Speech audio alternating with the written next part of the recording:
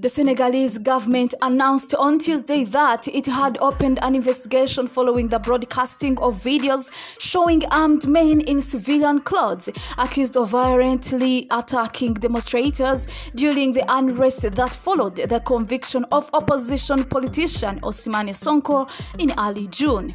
An investigation has been opened into the controversy caused by videos circulating on social networks in recent days.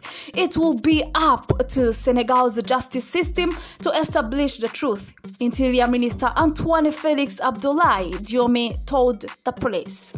He was speaking in the presence of Prime Minister Amadou Ba during uh, the visit to the BRT construction site, a rapid bus project designed to relieve traffic congestion in Dakar, where installations were damaged by demonstrators.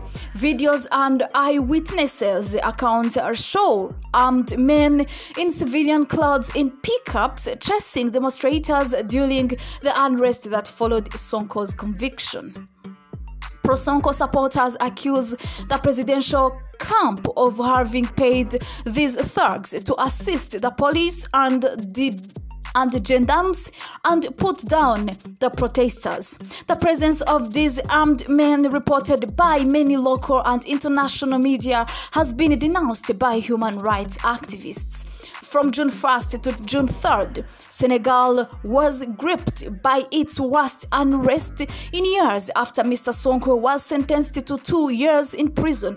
In a vice case, the violence left 16 people officially dead, but 23 according to Amnesty International. Thank you so much for watching. Peace.